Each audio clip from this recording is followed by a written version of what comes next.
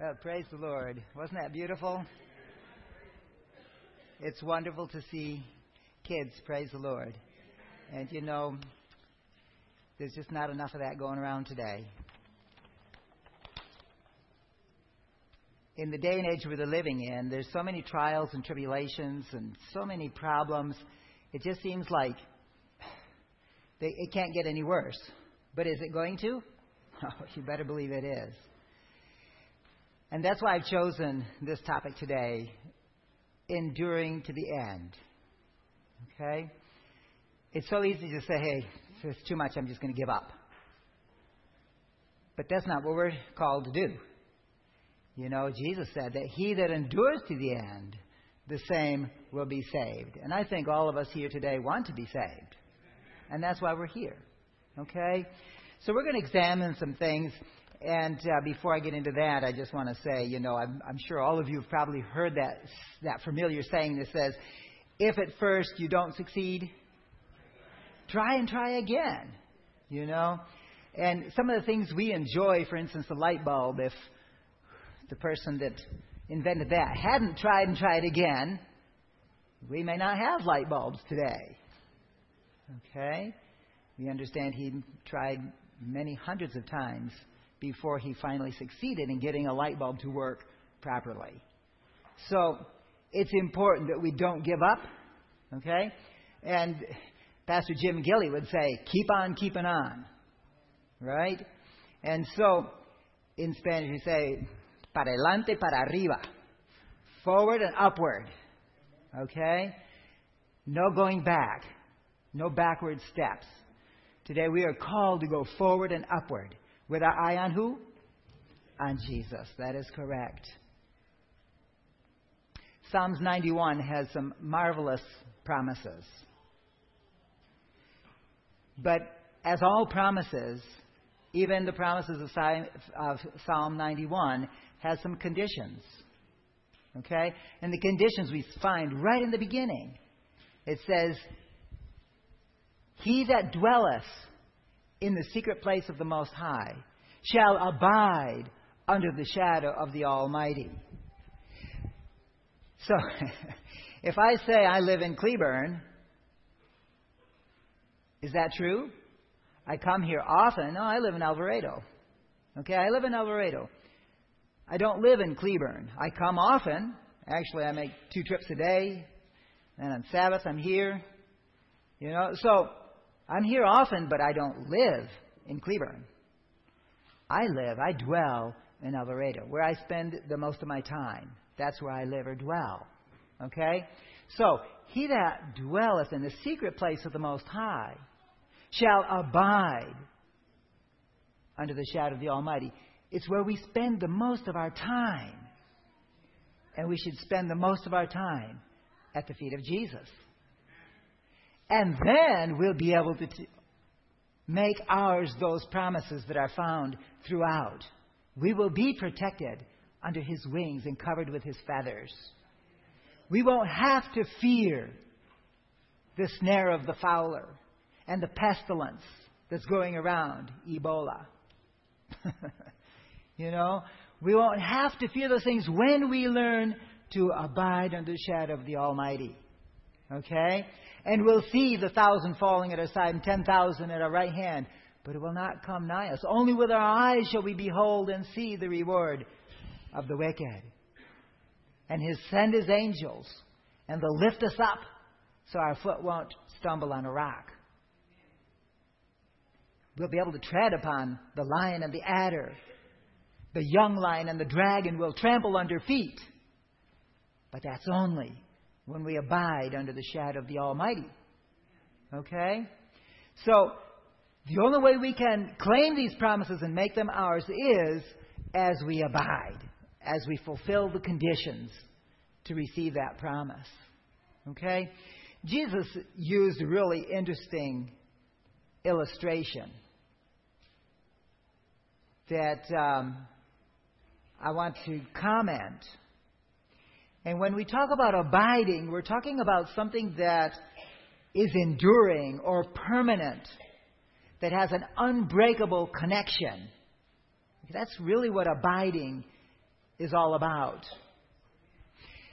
And in John chapter 15, 1 through 16, we'll find a real interesting illustration.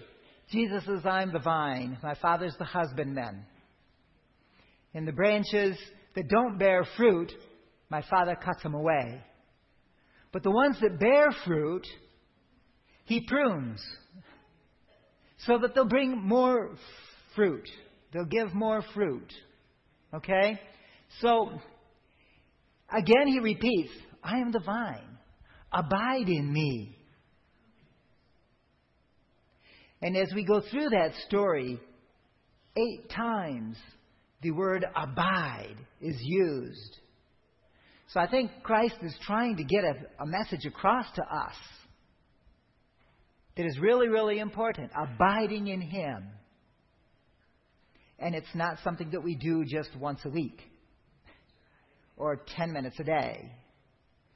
It's something that's an ongoing thing. Okay? Now, I don't know how many of you are aware that the grapes that we eat today are all the re- result of a graft. Okay? And the apples and the peaches and the plums and the pecans and so many other things that we enjoy are the result of grafting. Okay? Even the roses that we enjoy are the result of grafting. Because the wild rose has five single petals, just a simple little flower. They do smell good. Okay? But in order to get a beautiful rose like this, they've grafted and grafted and grafted to make a better quality rose. Okay? Anybody here ever done any grafting? Here's a fellow that's done some grafting. All right, so he's going to be able to sympathize and understand what I'm talking about. But I want to describe to you just briefly what grafting is all about. Generally, and I'm going to speak specifically of the pecan nut, all right?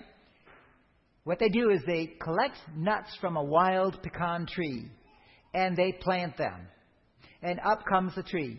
And they let it grow to maybe this high so that the trunk is an inch or so in diameter, sometimes a little larger. Actually, you can graft into any size. You can even graft into a stump that this, that's this big if you want to. But they generally do it when the tree is tender. And what they do is they cut it off just about that far above the ground. But then, before doing that, they've actually cut some saplings, some little twigs off a tree that gives larger nuts. Okay? Once they've cut that off, they take and cut the bark down about that far and peel it back so that it's down to the wood part. The bark has two layers, the outer bark and the inner bark. They actually have to cut through the inner bark and peel that back. And then that twig, they have to make sure there's a place where a branch will grow out of the twig. And they take a very sharp knife and cut it. And they cut it away till they've cut it to the heart. They cut it all the way to the center of that little twig, only halfway. They leave the other half incomplete. All right? So once they've cut it all the way to the heart, they stick it down in between the bark and up against that wood, that open part where they've cut to the heart. They put that right down in against the wood. And they close the bark around it as best they can. Then they take some nylon string and they start going round and round. They start right at the top and go round and round and round and round and work their way down just a, a string uh, width at a time until they get all the way down to the bottom of where they had slit the bark. Okay? Once that's done, they melt some wax and pour the wax on top and around to seal it. So no water, no germs or bacteria, nothing can get in it that could cause the separation of that twig from the trunk. All right? as it's been bound together like that, it begins to take life from the roots. And that little tiny twig will begin to grow and make a brand new tree. And it'll be a better tree than the one it was before because it'll give nice big nuts instead of the small wild nuts that would have been of the natural tree. Isn't that interesting? Now, like I said, this is done to so many of the foods that we eat today. It's really amazing. But I'd like to illustrate this using that example of how we need to be grafted into Jesus Christ. Jesus came to this earth and he began to grow. At a young age, they cut him off. His skin was open. Each one of us have to be cut to the heart to get rid of self, to get rid of our ambitions, our pride. And then, where we've been opened up, we have to be stuck in to Christ Jesus. And then, with the cords of His love, we have to be bound. We have to be bound, tied, tight, so there's no separation. And after we've been bound all the way down to where that wound ended, then the Holy Spirit has to be poured on top of us. We have to be drenched with the Holy Spirit. We have to be filled with the Holy Spirit. It has to cover in such a way that nothing can get in to separate us from Christ. Then, and only then, can we begin to grow and bring forth fruit for the honor and glory of God's kingdom. So praise the Lord for these simple illustrations in nature. And Jesus used that illustration when he talked about the vine and the branches. And even then, when we do bring forth fruit, sometimes we're pruned. And pruning isn't always gentle. Has anyone here ever watched anybody prune a tree?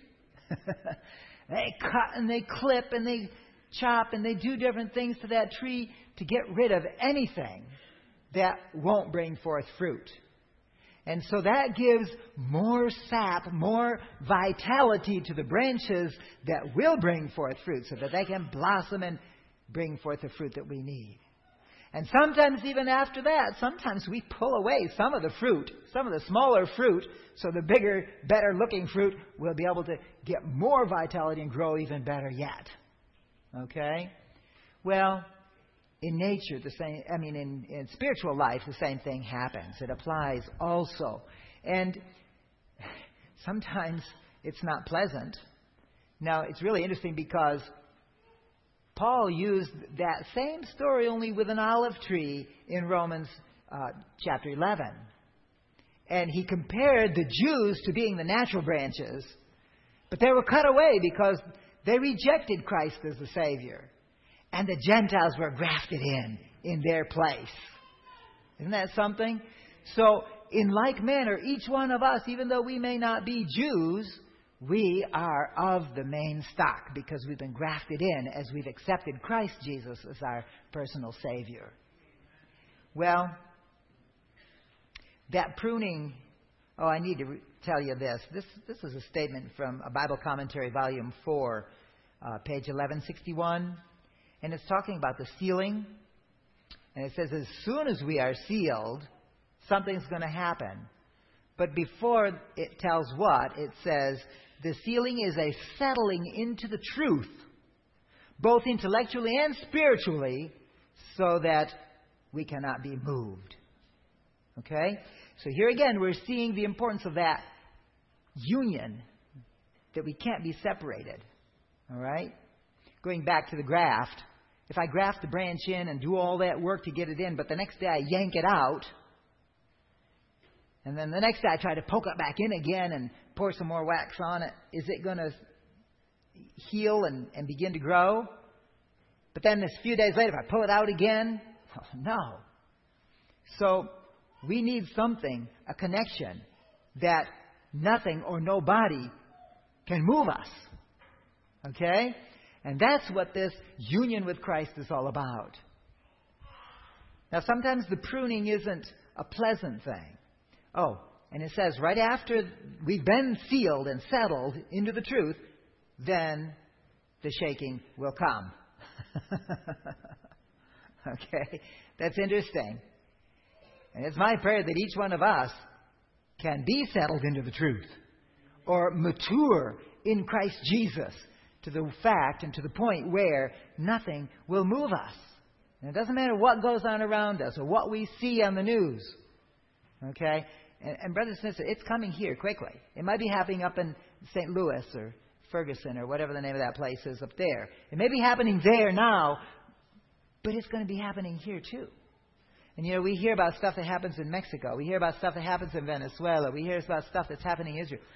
And it, we don't seem to be affected by it, but that can happen here any day. You see? So we have to be settled into the truth in such a way that we will not be moved. As a matter of fact, James chapter 1, verses 2 through 4, give us a really interesting insight. James chapter 1, verse 2 through 4, it says, My brethren, count it all joy when ye fall into diverse temptations. Wow. Do we call it joy when we have trials and tribulations, when things go all wrong?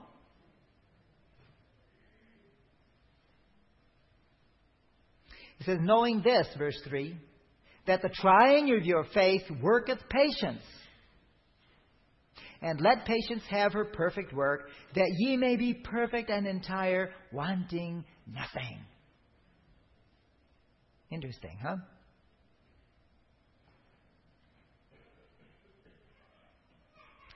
We generally don't think about trials as being something to be happy about. but the interesting thing is that these trials be for our faith.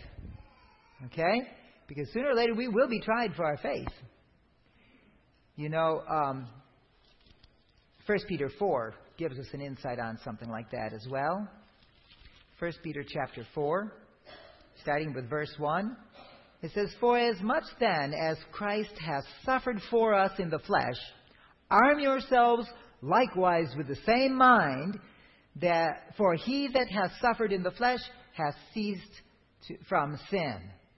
That's pretty powerful. And then it goes on, for he no longer should live the rest of his time in the flesh to lust to the lusts of men, but to the will of God. And it goes on talking about when we were Gentiles, we acted like them. But now that we belong to Christ, they are surprised to see that we don't run with them and do the same things we used to do with them. And they revile us, it says. They make fun of us because we don't do it anymore. But let's jump down to verse 12. It says, Beloved, think it not strange concerning the fiery trials, which, if, uh, which is to try you, as though some strange thing happened unto you. But rejoice inasmuch as ye are partakers of Christ's suffering that when his glory shall be revealed, ye may be glad also with exceeding joy. Now, again, as we learn to cope with trials and tribulations, the things that don't go right in our daily living, we will learn how to cope with when they begin to revile us and even take us to court because of our faith, or maybe fire us from our job because of our faith, or kick us out of school or university because of our faith, okay, then we can call it all joy because we are suffering the sufferings of Christ. Okay? Now, if we're suffering because we've robbed or because we've lied or because we've done something wrong, there's no virtue in that. okay? But when we've done what's right, when we're standing up for the true principles of the Word of God and yet we are reviled and persecuted, we should rejoice because we are able to partake in the sufferings of Christ. And when He is revealed in His glory, we will be with Him. Okay? So, I thought that was a really important point. Let's go to Romans chapter 8 and verse 16.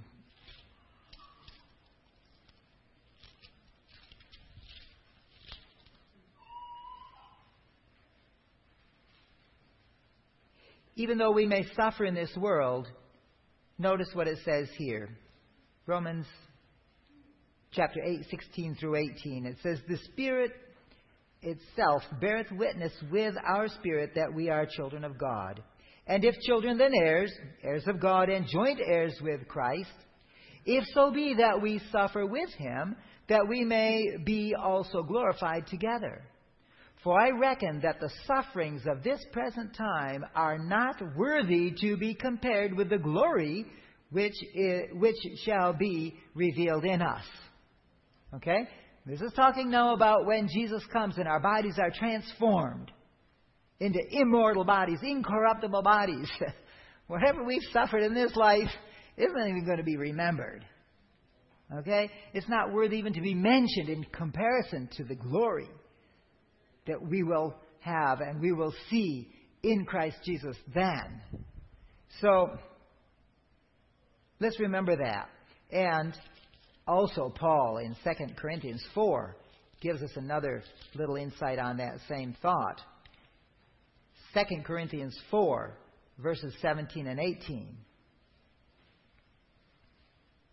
And he says, For our light affliction, which is but for a moment, worketh for us a far more exceeding and eternal weight of glory.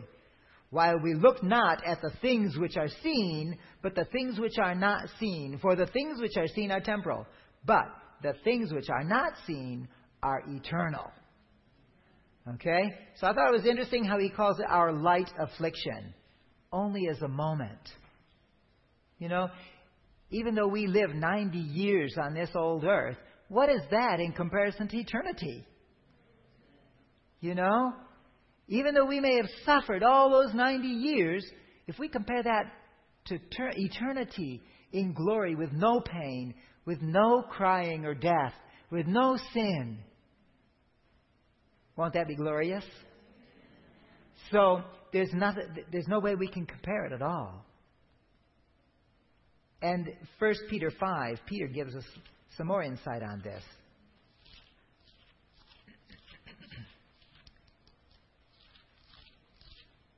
First Peter chapter 5.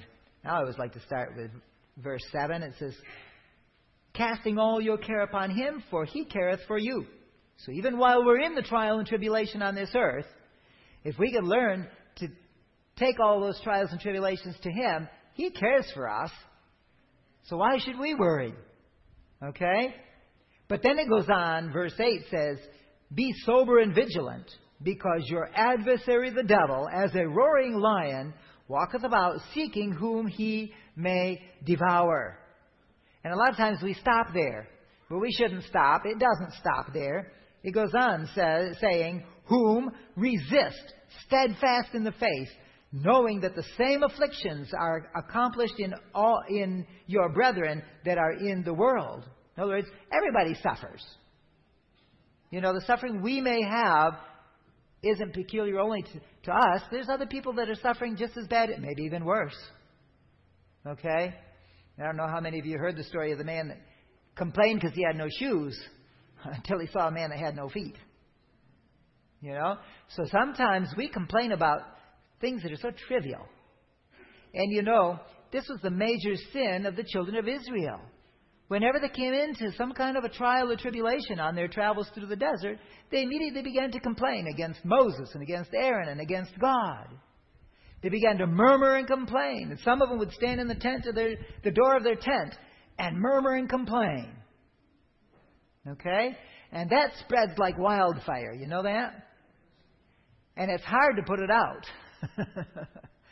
so, instead of grumbling and complaining, we should understand that there's others that are in worse conditions than we are. And the best remedy for depression is to seek somebody that's in a worse condition than us and try to help them. And you'd be surprised that dep- depression will disappear very rapidly when we do that. But let's go on. Um, verse 10 But the God of all grace, who hath called us unto his eternal glory by Christ Jesus, after ye have suffered a little while, there it is again, just a little while, even the suffering of all our life on this earth is nothing in comparison. It's just compared to as a little while. What will happen? He will make you perfect, establish, strengthen, and settle you. So there it goes back to that verse being settled into the truth so we can be sealed. Okay? So I love it. The Word of God is so beautiful.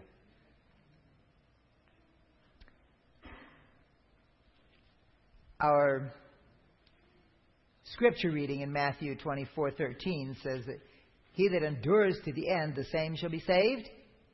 Well, let's, let's look at Matthew 10. It says something similar. And I'm going to start with verse 16. Matthew 10:16 says, "Behold, I send you forth as sheep in the midst of wolves. Be ye, be ye therefore wise as serpents and harmless as doves. But beware of men, for they will deliver you up to the councils, and they will scourge you in the synagogues, and ye shall be brought before governors and kings for my sake, for a testimony against them and the Gentiles. But when they deliver you up, take no thought how or what ye shall speak. For it shall be given you in that same hour what ye shall speak. For it is not ye that speak, but the Spirit of your Father which speaketh in you. And a brother shall deliver up brother to death, and the father a child, and the children shall raise up against their parents and cause them to be put to death. And ye shall be hated of all men for my name's sake. Well, that's, that's heavy, huh? We don't like to be hated. We like to be liked and accepted. But if we stand for truth in this time that we're living in, there will come a time when we will be hated by all men because of the truth. And it ends by saying, But he that endureth to the end, the same shall be saved. So there's that same promise. Okay? And in order to have that promise, we need to fulfill the condition okay, of enduring to the end. Romans 8:28 tells us, "For we know that all things work together for good to them that love God and to them who are called according to his purpose." And I like to say to them who are who respond to the call according to his purpose. Because we've all been called, yes or no? Yeah, we've all been called, but whether respond or not, that's that's, that's the dividing point there, right? You know, there's special promises to those who endure to the end. And sometimes we don't um, take into account these promises. And these promises are also given for the overcomers. Okay? And I'll give you the text, you can read them later. Revelation chapter 2, in verse 7, verse 11, verse 17, and verse 26. And then in chapter 3, verse 5, verse 12, and verse 21. There's some really interesting promises there. I'd like to just share them with you real quickly. It says, To him that overcometh, I will give to eat of the tree of life how many of us want to eat of the tree of life? I definitely do. I'm looking forward to eating of each one and tasting each one of the different fruits that it gives each month. You know, that's going to be amazing. And I'm sure we'll be delighted with each different flavor. but that promises to him that overcometh. Right? And you know, we can start eating the, the, leaves of the tree of life right now. We may not be able to eat the fruit, but we can eat the leaves of the tree of life right now as we study the Holy Bible. Here, these, each page of the Bible is, as it were, a leaf off the tree of life. And as we study our Bible, we're told in Revelation uh, 22 2 that the leaves are for the healing of the nations. So if we want health and healing, here it is. Okay? We have it in our hands. And we need to make it ours. The second verse that I mentioned says that to him that overcometh, he shall not be hurt of the second death. You know, that's amazing. Jesus took that second death so that we don't have to experiment it, experience it. Isn't that amazing? So praise the Lord. As we accept Jesus as standing before his Father in our behalf as our high priest, as our advocate, as our lawyer, and as our judge, you know, that's it's amazing. We don't have to fear the second death. Okay? The third one says, I will give him to eat of the hidden manna, and will give him a white stone and a new name. Isn't that interesting? Those are some promises that are pretty neat. I don't know how many of you are, are rock hounds. I'm a rock hound. I love collecting stones. I have loads of stones. Okay? And um, they're beautiful. You know, God has put in nature some absolutely gorgeous things. But I can hardly imagine that stone that Jesus is going to give to me and to each one of you. Okay? The fourth one says, I will give him power over nations and the morning star. That's going to be amazing, huh? and as a matter of fact, during the millennium, each one of us will sit as judges over those who are not in heaven. Okay? So, yes, we will rule over nations. And who knows, later on, God may make us ruler over certain different worlds. We don't know what eternity will bring. It's beyond us to know. But it says here, He'll make us rule over nations. Number five says, To him that overcometh, he shall be clothed with white raiment. Now it's interesting because we need to be clothed with that white raiment here, don't we? Okay? And we know that that white raiment is the righteousness of Jesus Christ. And then it goes on to say that same promise, and I will not blot his name out of the book of life, but I will confess his name before the Father and the angels. Isn't that amazing? So again, we see Jesus standing as our representative be- before the heavenly beings. And then the next one says, To him that overcometh, I will make him a pillar in the temple of my God, and I will write on him God's name, and the name of his city, the New Jerusalem, and his new name. So each of us are going to have new names. And we'll have it written on us. You know, I've been to some churches where as you come in the door, they greet you and ask you your name, and then they take you to a little machine and they type in your name and print out a tag, and you stick it on your jacket or on your blouse so that people, when they come up to greet you, they can take your hand and say your name. Okay? And that's pretty neat. So when we get to heaven, we're all going to have new names, and it's going to be written on us. So others, when they greet us, they'll know our name. we won't have to ask each other our names. The final one is that He will grant us to sit in His, in his throne, even as He is overcome and is set down with His Father in His throne. That's pretty awesome. You know, sometimes here on this earth, we may dream of becoming president or being able to sit in a throne or in a, a place of authority. But we're promised that if we overcome, we will sit in a throne. And that's amazing. I can't wait to experience that. And so, as we come to the close, there's a couple of more texts that I want to look at. One of them is 2 Timothy 4 7 and 8.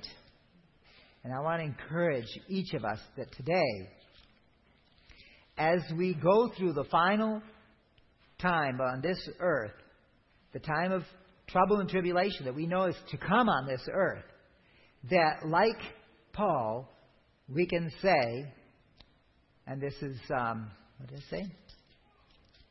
2 Timothy 4 7 and 8. I have fought a good fight. I have finished my course. I have kept the faith. Henceforth, there's laid up for me a crown of righteousness, which the Lord, the righteous judge, shall give me in that day, and not to me only, but unto all them also that love his appearing. Okay? So I encourage you, brothers and sisters, let's fight that good fight of faith and go forward, enduring to the end, so that we can inherit eternal life. And there's a really interesting blessing that a lot of us, you know, when we think about blessings, the Beatitudes, we think always of Matthew 5, but there's a really interesting beatitude here in James chapter 1 and verse 12. James chapter 1 and verse 12. Blessed is the man that endureth temptation, for when he is tried, he shall receive the crown of life which the Lord hath promised to them that love him. So, once again, brothers and sisters, I just want to encourage you. Yes, there may be troublesome times before us, but we need to remember Jesus has already walked the path before us. He's already endured it for us. And the way he endured it was by saying, Father, let this cup pass from me. But if it cannot be, let thy will be done and not mine. So may this be the prayer of each one of us as day by day we go forward with our eyes fixed on Jesus, marching toward the kingdom of heaven. May God bless you.